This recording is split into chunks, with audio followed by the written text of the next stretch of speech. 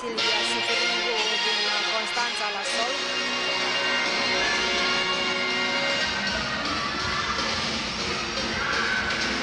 Echier sau întins. Cu siguranță o să-i dea chiar. Nu cred că vor fi atât de generoși